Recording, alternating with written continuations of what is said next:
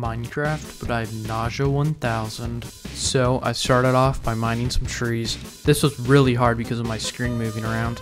I crafted a stone pickaxe and went to find some iron. But after 5 minutes of running around, I found a cave and I started mining.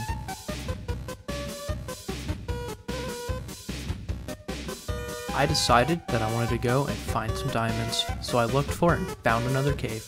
But I accidentally fell into lava. I tried to save myself, but it was too late.